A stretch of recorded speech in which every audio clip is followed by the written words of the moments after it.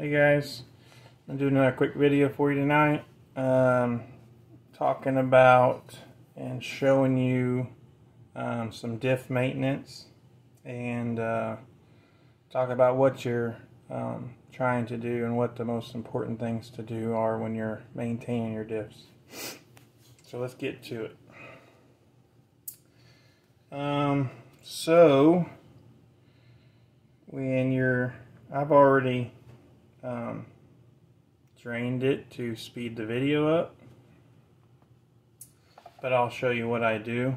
Um, so when I open the diff up, I'll actually just turn it upside down on a paper towel and let um, most of the fluid drain out.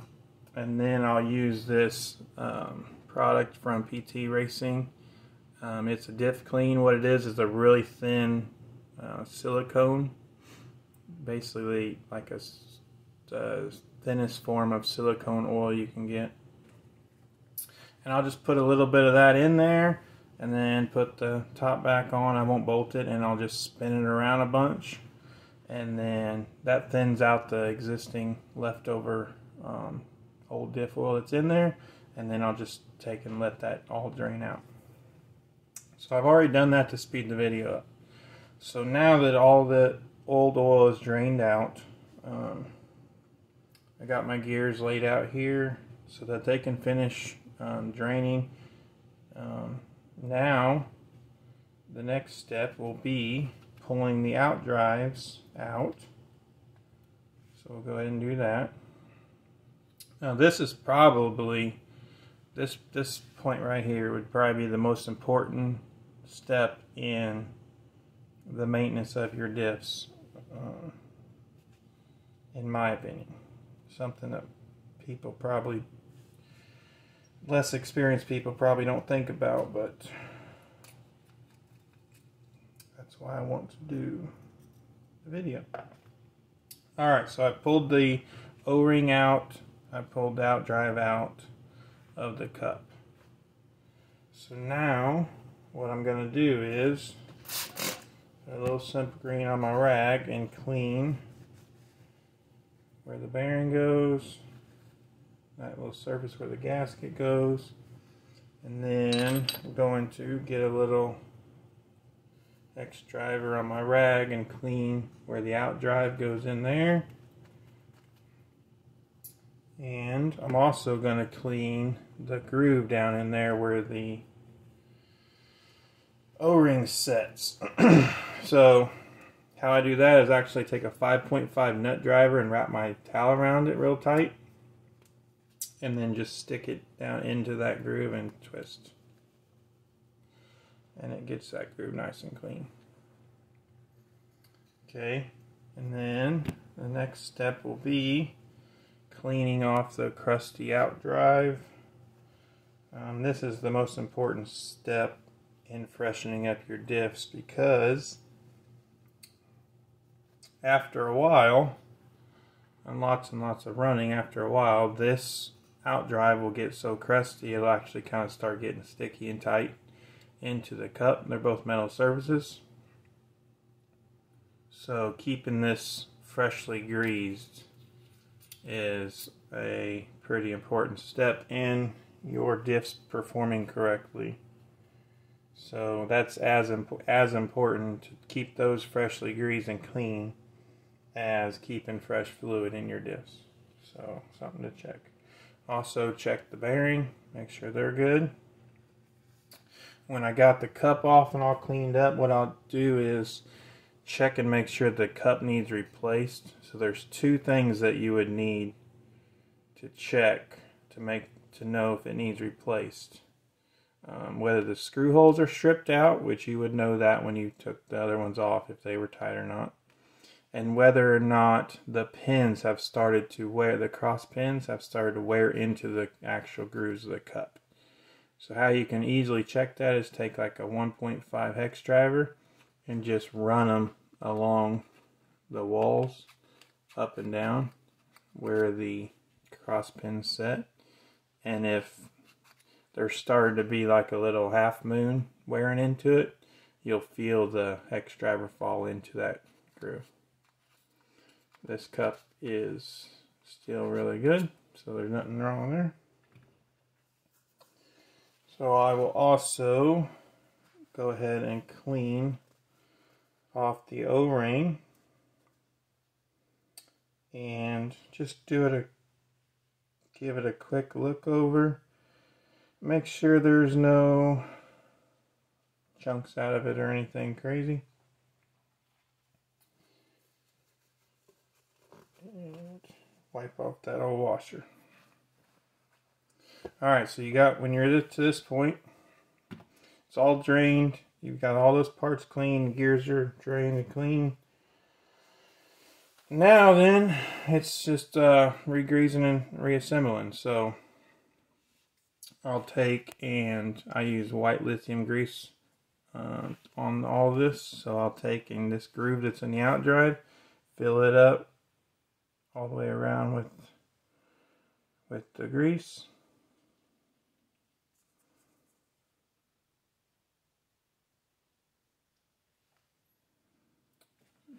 all the way around that, right in that groove.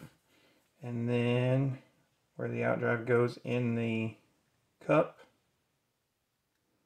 swirl some into there. And then where the groove, the O-ring or the groove for the O-ring, I'll actually put some in there too. Okay, then you're ready to assemble everything.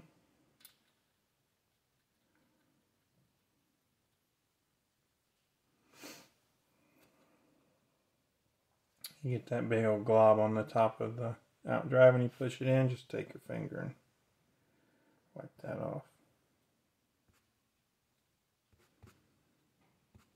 Okay, now then time for the O-ring. Now you push that on there with your finger and how you get it down in the groove is take a 7 millimeter nut driver and just push down the groove and kind of twist it a little bit.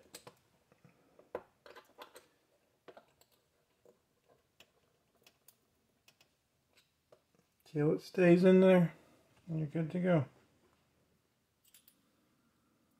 And then put the washer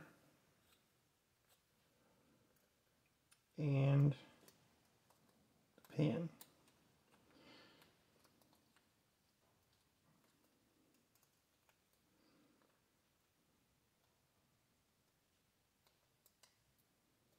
Make sure your pin is centered so it's easier to put the gear on.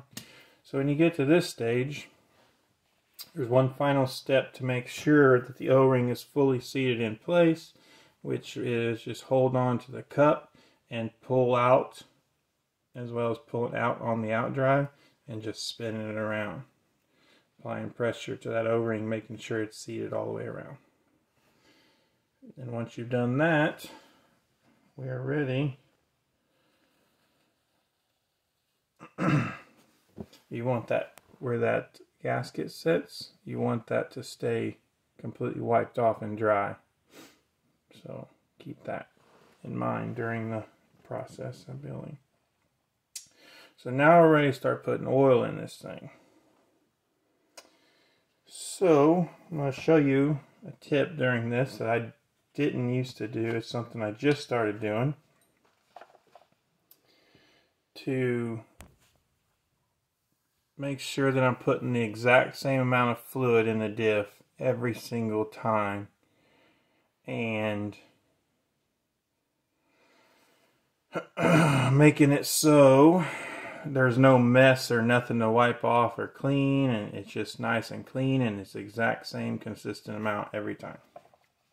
So to do that, I actually have this um, it's like a mini pocket scale. It's like a jewelry scale, I think it might be what it is. It's like a digital scale that um, you want to make sure you get one that can do grams. And um, I got this one off Amazon for only like $15. I liked it because it come with this 50 gram weight to be able to calibrate it so that you know you're getting a perfect measurement.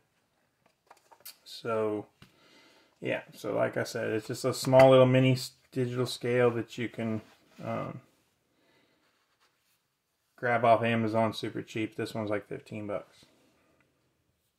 Anyway, we will go ahead and before we put that bottom gear in, we're just going to put a little bit of fluid down there in the bottom of the cup before the gear. That way no air gets trapped in there.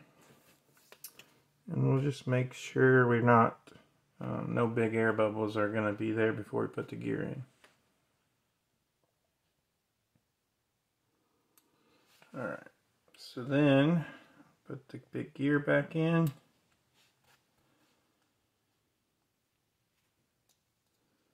Sure it gets all the way down the washer and spin it a couple times so no air gets trapped around the sides. And then put the small gears back in. And it's a good idea to look look the gears over and make sure there's nothing messed up with the gears or anything. And you want to make sure you're doing it on a clean area because if you get anything in the teeth of those gears and get it put in your cup, then that's going to cause it to have like a feel like it's locking up. All right, so when you get this, all the gears in there, and it's assembled and cleaned and re-greased. So you turn the scale on, let it zero out, make sure it's on grams, put that down there, and what I'm going to do is, is fill this up till I get to 41.5 grams. So just go really slow when you start getting close to it.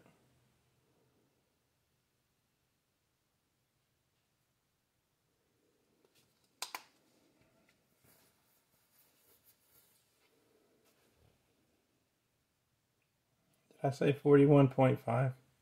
Like I did. My note says 41.6. So, filled up till it's till it's 41.6 grams of oil. Well, it's not 41.6 grams of oil. It's 41.6 grams um, is the total weight of the diff with the oil in it. So, more of these 3 a.m. videos where I'm saying weird stuff. Anyway, so in doing it with this method, you can make, make sure it has the exact same amount of fluid in it every single time. And it uh, there's no need to wipe any off or any of that. So it's nice clean and it's exact same amount of fluid every single time. So now that we got it at 41.60 grams, I'll just spin a couple times to make sure no air bubbles got trapped under the gears or anything. And then what I'll do is I like to kind of let the oil get back in these where the cross pins go. So I'll just kind of tilt it and let some oil run back in those grooves. It's probably unnecessary. I imagine once you seal the diff up and it's in action, it's going to sling the oil all all over the place anyway, but I like to do it.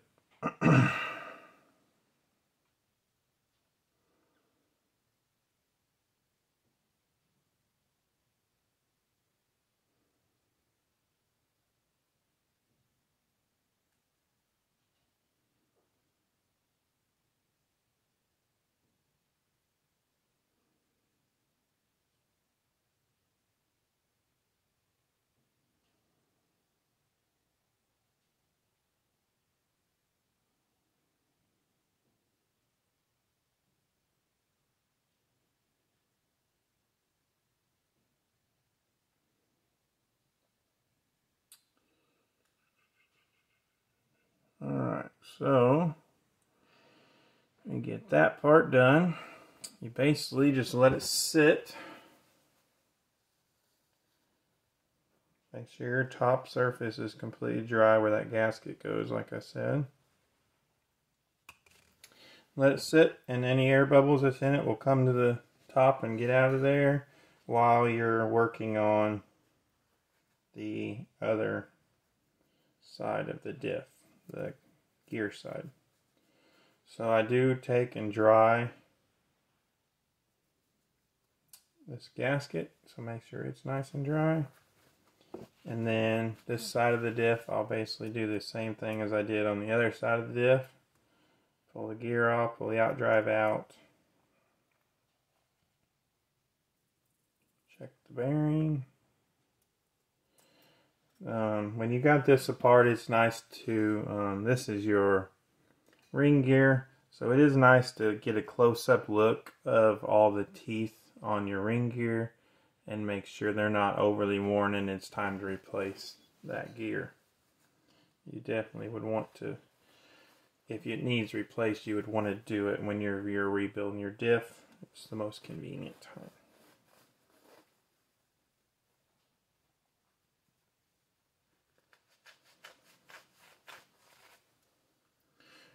So, I'm cleaning this gear. I do dry this surface completely dry.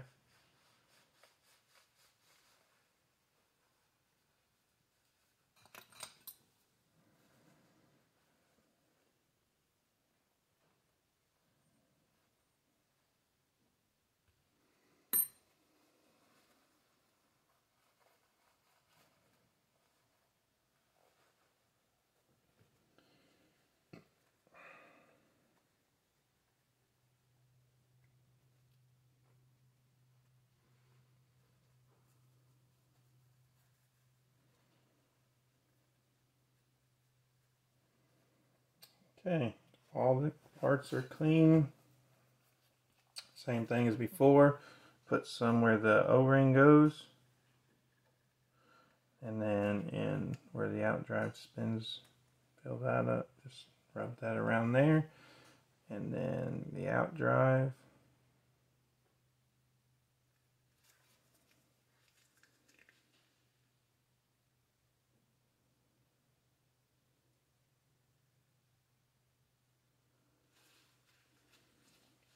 You don't want to overdo it. You just want to put a layer around there. Like you don't want it like bulged up or anything like that. You just want to have it a nice clean layer, but you want enough that it completely fills that groove.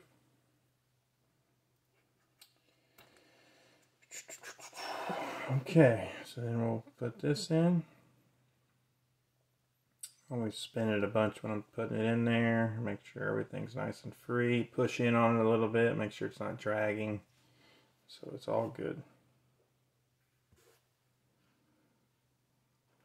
O-ring in. And then use the uh, 7 millimeter to seat it.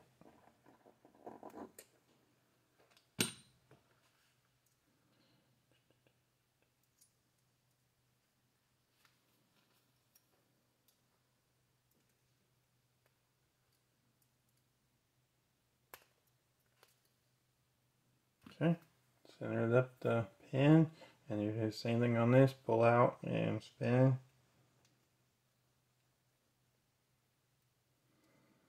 And you, if you feel when you're spinning it, if you feel any like, uh,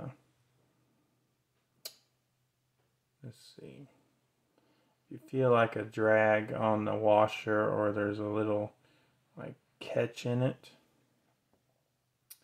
then you can try flip the washer over and if it does, if it still feels that way you're gonna have to replace that washer sometimes I've seen um, I don't know what causes it but I've seen like there be a, get a little burr in the washer and it's so small of a burr that you can't even really see it when you look at the washer you can't feel it or see it but when you assemble it and the, and the pin is sliding against that washer the pin feels it. So if you have that, flip, try flip the washer over or replace the washer because it'll make your diff uh, perform very poorly. Put the uh, gasket back in completely dry. And then you're ready to, by the time you've got that done, the diff is completely perfect and ready to drop your gear in. And your oil level should be absolutely perfect, right where right where it needs to be. Um, and you don't need to do anything except drop this in and bolt it on.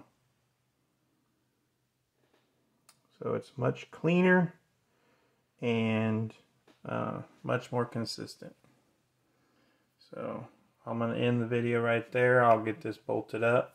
The only thing is, is when you bolt it up, just make sure you turn your diff and make sure it's all smooth and good and nothing's feeling weird. And then you're good to go.